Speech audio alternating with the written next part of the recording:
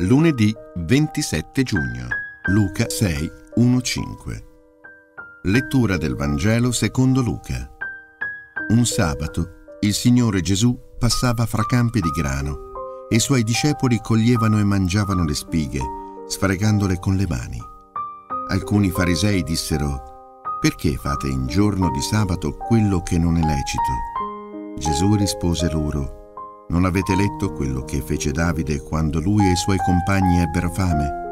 Come entrò nella casa di Dio, prese i pani dell'offerta, ne mangiò e ne diede ai suoi compagni, sebbene non sia lecito mangiarli se non ai soli sacerdoti.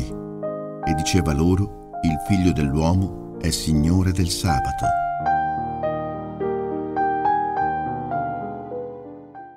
Le domande dei farisei si ripetono incessantemente e arrivano a sfiorare addirittura la nostra vita, l'oggi.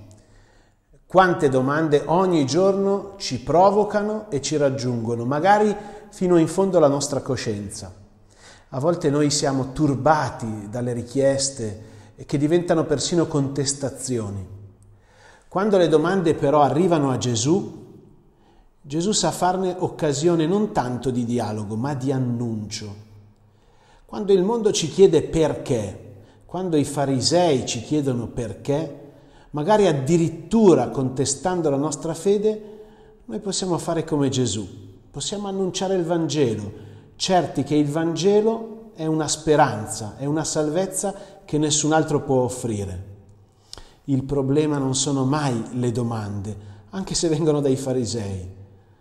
Il problema sta nel fatto che immaginiamo di non avere risposte risposte da offrire, risposte da condividere.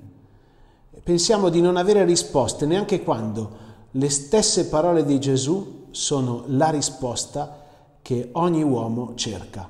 Buona giornata.